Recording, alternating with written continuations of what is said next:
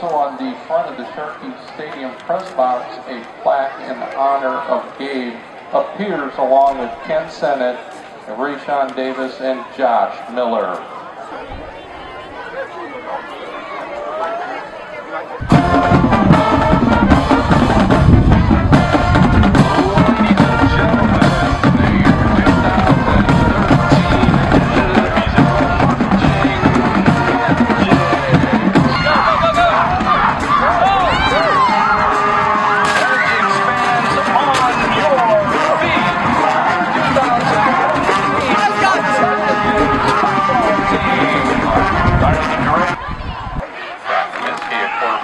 Matthews.